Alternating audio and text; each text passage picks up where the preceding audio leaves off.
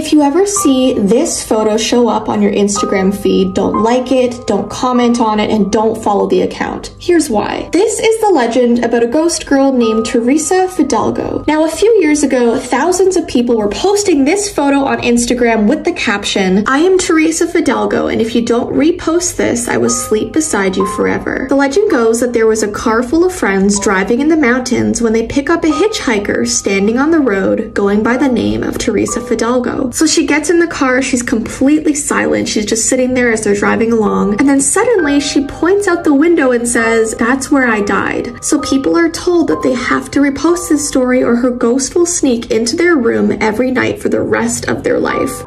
All right, let's talk about Smile Dog. Smile Dog is apparently a cursed image that has been going around the internet for quite some time now.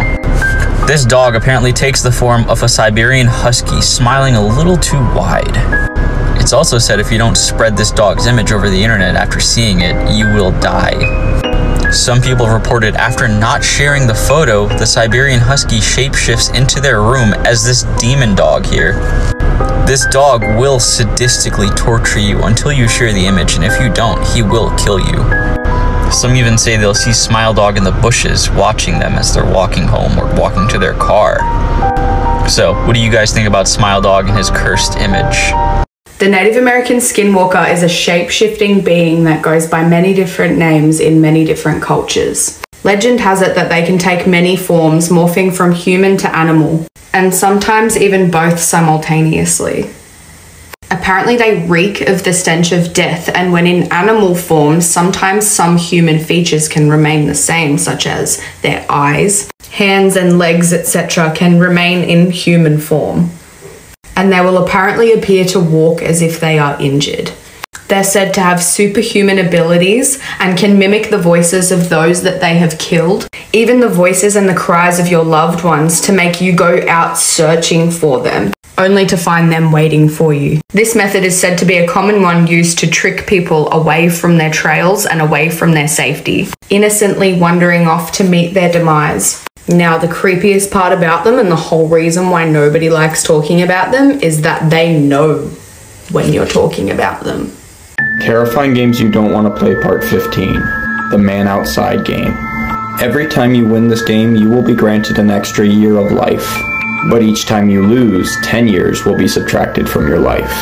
To play this game correctly, you will need to unlock all of your windows and make sure that they are uncovered, and then wait until 2 a.m. Once you have done this, you will need to go up to each window individually, knock three times, and say, Man outside, man outside, are you there?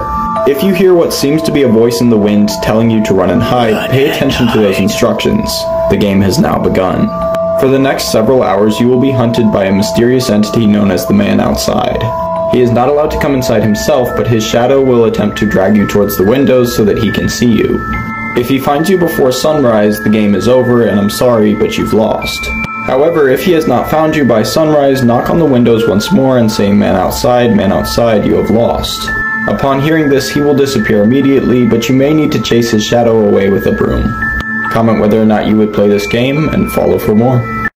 This is why you should always lock your bathroom door. It was the first night Marnie and her family moved into their new house. Before going to bed, she wanted to take a relaxing bath, but she could have never expected the terrifying things this would lead to. The rest of her family was in the living room watching TV, and a few moments later, Marnie ran out of the bathroom screaming. Turns out when Marnie was sitting in the bathtub, she heard what sounded like heavy breathing. Assuming it must be the wind, she tried to ignore it, but then she noticed something strange about her hair. Her hair was much longer than usual, and it was much darker than her hair used to be too. Marnie jumped out of of the bathtub, but as she got up, the back of her head seemed to hit someone else's nose. Since then, she's been too terrified to be in the bathroom alone, convinced that someone else was in the bathtub with her that night. Most terrifying urban legends from around the world. Once there was a young fisherman walking along the river when he saw a strange looking woman. She was crying and holding a baby wrapped in a blanket. So the fisherman approached her and asked her what was wrong. The woman said she was lost and asked the fisherman to hold her baby for a second so she could rest. And this is when everything went wrong. The baby seemed to grow grow heavier and heavier in the fisherman's arms until he could no longer move.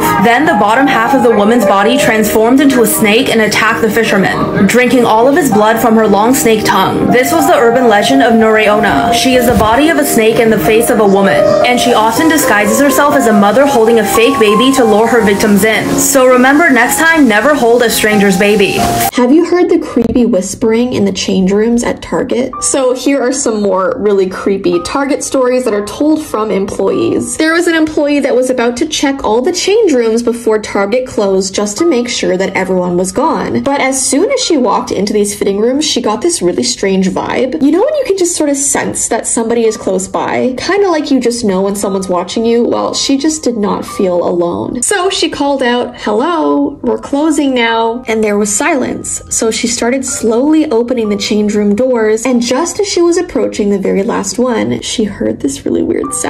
It was this muffled whispering coming from behind the door. She wasn't able to make out what it was saying, but as she approached it, she put her ear against the door to like figure out what they were saying. But as soon as she did that, the whispering stopped. So she said, Hello? She began knocking, but there was no sound, there was no reply. And when she tried to open the door, it was locked. So she knelt down to peer under the door, and to her surprise, she saw dirty, wet, bare feet. This person wasn't wearing any shoes, so she freaked out and ran to get another employee. But when they got back to the change rooms, that very last door was open, and all that was left was this puddle on the floor. So I heard about this story, and it was really scary. And lastly, I have a story about the baby aisle. It's about this woman who was walking through the baby section holding a tumbler of iced tea in her hands with the lid tightly fastened. Well, as she was walking down this aisle, she suddenly felt this tug on her hair, and before she even had a second to react, the top of her cup just popped off and the ice flew out and spilled all over the floor. She ran and told the employees, but no one believed her. They thought that she just accidentally spilled it, but she was convinced that something in that aisle literally made her cup explode. Later that night, the night shift employee was looking through the security footage from the day and he saw what happened to her. And from that day forward, the employees were afraid of the baby section. If you see a tall silhouette standing in the middle of the road on a rainy night, it just might be the Rain Man. The Rain Man is a creepypasta scary story about an entity that lurks in the rain. He's said to be very tall, wearing long dark pants and a long dark coat, with long stringy black hair that gets swooped in front of his face, getting stuck to his skin from the wet rain. And his skin is extremely pale, like a sheet of paper. One story of an encounter with the Rain Man goes like this. It was during the First World War and it had been raining for several days. A soldier was sitting down in the pitch darkness of the night when he thought he saw a light out of the corner of his eyes. He turned to look, thinking maybe it was a lantern, but what he saw terrified him. Standing outside in the pouring rain was a tall figure dressed in all black with a long black coat. The soldier couldn't make out many features, but he could make out the eyes. They were huge pits with a yellow light radiating out of both of the eye pits. The figure then disappeared into the trenches, which were filled with rainwater. This is why you should never try to investigate when you hear strange noises. Once there was a boy named Tom who was walking to school when he saw a photo lying on the grass outside. He picked it up and saw it was of one of the most beautiful girls he'd ever seen. She was wearing a dress, red shoes, and had her hands formed into a peace sign with two fingers up. When he got to school, he showed the picture to his friends in hopes that they would know who she was, but no one knew. That night, he woke up to strange tapping noises on his window. It sounded like someone had crawled up to his window and was tapping on it with their nails. He saw a faint shadow but ignored it and tried to go back to sleep. The next night he heard the tapping noise again. This time he got up and tried to go outside to investigate, but right as he ran out he was hit by a car. The driver came out of the car and tried to help him, but it was too late. He then found the picture next to his body. He saw a girl holding up three fingers. The Laundry Man. This is the Laundry Man, a humanoid creature. At first glance, he may look normal to you, but some things about this man just don't add up. The Laundry Man's eyes are oddly shapen, being very large in comparison to the rest of his face. And it seems as though he has a permanent grin displayed on his face at all times, and no teeth. He also has long claw-like fingers on his hands, and seems to be trailing a mysterious dark liquid. If you look behind him, it looks like he trailed liquid and smeared it on the door as well. It also seems as though his arms may be extremely long in comparison to the rest of his body. And it's said that the laundryman frequents laundry and any place where people do laundry. Please do, Bunny Man. Something is not quite right with this rabbit.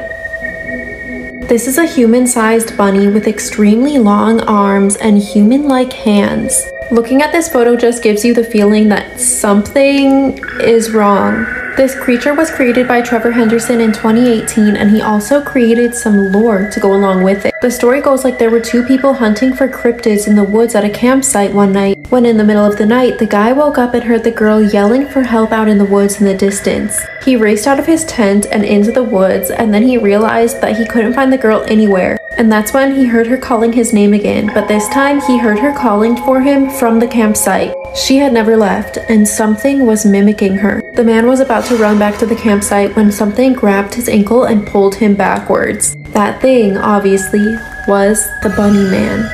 Can you do the smile room, please? There is something not quite right about this room. Although this looks like a room with teeth in the doorway, there is a deeper explanation to it. The smile room isn't even a room at all. The smile room is actually a mysterious being which manifests itself in the form of a door to lure people inside. Once people enter through this doorway, the smile room eats them up, never to be seen again. It's also said that the smile room can manifest as a humanoid creature pictured here. At first glance, this creature might look like just a normal human, but upon closer inspection, it actually is made up entirely of teeth. Do creature with the red spots, please. This is creature with the red spots. He's a giant creature. Not much is known about this creature, but it is estimated that he's about 1,000 feet tall and weighs a whopping 490,000 tons. If one car weighs two tons, imagine how many cars it would take to match the weight of just this creature alone. It's also suspected but has not been confirmed that this creature may be the same creature as Breaking News, which I've already done a video on,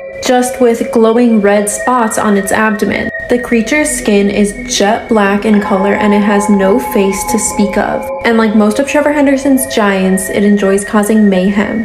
This is Scribblehead. The image of Scribblehead depicts a human-like creature, but some things are just not quite right. Its body looks like it's almost in a hunchback position, and its arms are extremely long, with long, sharp claws at the end of its fingers. And its face looks like that of a skeleton, and the weirdest thing about it is that it has scribbles all over its face. This creature is said to have started out as a drawing. As you can tell, it looks very much so like a drawing, especially with the scribbles on its face. And then it was somehow brought to life and brought into the three-dimensional world. Although it's unknown how this creature was brought from a drawing into an actual humanoid. This creature is said to be about 6 foot 7 and it's also said that he can teleport from place to place. Can you please do more creepy games? The Love Me game. The Love Me game is a paranormal game in which you can summon a spirit to tell you if somebody loves you or not. And this game supposedly traces back to the Pacific Islands. The spirit in which you are trying to summon in this game is called Rakunini. I'm not sure if I said that right. By the way, disclaimer, this is for entertainment purposes only. I don't suggest you try this. In order to play this game, you'll need to take a leaf, preferably a coconut leaf. It's said that you'll have to tear the leaf down the middle, but not completely. You don't want it to tear in half and hold the leaf between your pointer finger and thumb of your right hand, rubbing your fingers on it as you say this chant. Tell me Rakunini, tell me if she loves me, tell me if she hates me, tell me, tell me, tell me. After you say this chant three times, then tear the leaf completely in half and wrap both halves around both of your index fingers. If the leaves are the same height, that means that they hate you. If they're different heights, that means that they love you. But those who want to play this game should beware, because you can also summon Rakunini for more malevolent purposes. This is Huggy Wuggy. Okay, hear me out. I remember when Huggy Wuggy first became really popular a few months ago, I was getting thousands of requests to do a video on him. At first glance, he may look like just your normal average children's video game character, but there is something a lot more sinister about Huggy Wuggy. Originating from the children's video game Poppy Playtime, Huggy Wuggy is a huge mascot-like character, towering at an estimated 10 feet tall. And to make it even creepier, it looks like he has several rows of very sharp teeth in his mouth. And something about those piercing black eyes just makes me feel very uncomfortable. And this is what Huggy Wuggy looks like when he's smiling. What's also terrifying is the high-pitched screeching noise that he makes as he lunges towards the person playing the video game. Can you do La Llorona? Sorry if I said that weird. The legend of La Llorona, or the Weeping Woman, is a tale in Mexican folklore. I've heard a few different versions of this, but I'm gonna tell you guys the one that I've heard the most. The story goes like there was a woman named Maria who had a husband and two small children. Well, Maria's husband started seeing another woman. He had a mistress. This completely shattered Maria's heart and it sent her into a deep depression. And one day she was out by the river when she saw her husband with his mistress. Seeing her husband with his mistress sent her into some sort of episode and she had a psychotic break took her children down by the river and drowned them. When she realized what she had done, she then threw herself in the river and drowned herself. Legend has it that she now roams the earth searching for her children. People who have encountered La Llorona say that they hear cries in the distance, and apparently, if you hear them far away, that actually means she's very close. If you hear them close, that means she's far away. She can also be heard crying out for her children. It's said that if you go out after dark in Mexico or the southwestern United States, you may just have an encounter with La Llorona as she roams the riverbanks looking for children to take to their watery grave. Can you please do the bus stop? The story of the bus stop goes like there was a man named Ed who was driving home from work one day in a rainstorm. He passed the bus stop and saw a young woman standing out there getting rained on. He pulled up right beside her and asked, Would you like a ride? She said yes and got into the vehicle.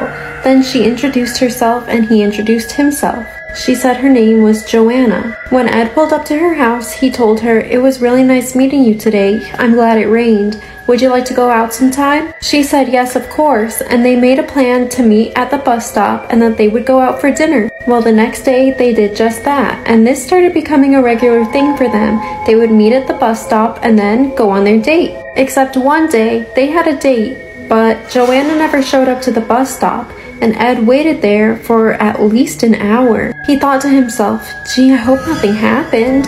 And he decided it'd be best if he went to her house just to find out what was going on. He pulled up to her house and knocked on the door, and an older woman answered.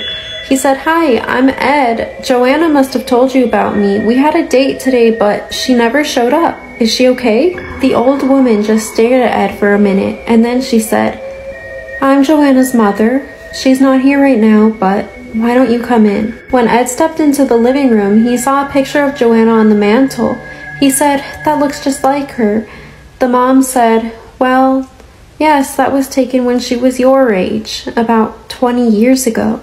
A few days after that photo was taken, she was waiting at the bus stop and a car hit her and killed her. She's been dead for 20 years.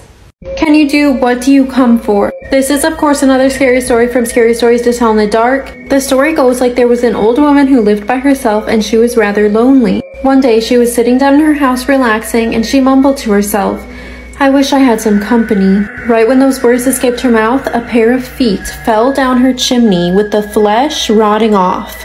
After the feet tumbled down, then so did a pair of legs, and then a torso, and arms, and then a man's head. All of the extremities formed together, creating a human body. And then the man stood up with his flesh still peeling off and began dancing around the old woman's home. The old woman stood there staring at the man in terror. And then the man stopped dancing and looked down at her, looking straight into her eyes. She looked back at him and in a terrified, shaking voice, she asked, What do you come for? The man then opened his mouth and replied, I came for you. And that's how that story ends. May I carry your basket? The story goes like there was a man named Sam Lewis who was walking home one night around midnight after finishing a game of chess at his friend's house. There was nobody else out on the roads and it was quiet. But when Sam Lewis rounded the corner, he noticed that there was a woman walking ahead of him carrying a basket. He caught up to the woman and said, Hi, what are you doing out this late? But there was no answer. He looked over to her to see if he knew who she was, but she was so bundled up in scarves that he couldn't even see her face. He then asked, May I carry your basket? And she handed him her basket, and then a voice came from the basket saying, Well, that's very nice of you and then started laughing maniacally. Sam, being confused as ever, looked into the basket, and that's when he saw that there was a head in the basket. He looked at the woman and realized that's her head. That's why she's so bundled up in scarves, because she doesn't have a head. He dropped the basket and the head rolled out, and then he started running. The woman's body and the head followed close behind him, with the head bouncing in the air. They caught up to Sam, and the head jumped up and bit him in the leg. He managed to get the head off of him, and he continued running and then it jumped up and bit him in the other leg. And then Sam looked behind him, and the lady and the head were both gone. Why so sad? Walking around with them